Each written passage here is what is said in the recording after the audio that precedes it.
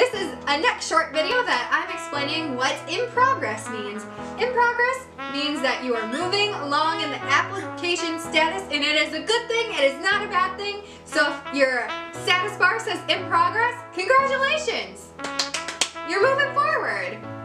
Bye, thanks for watching.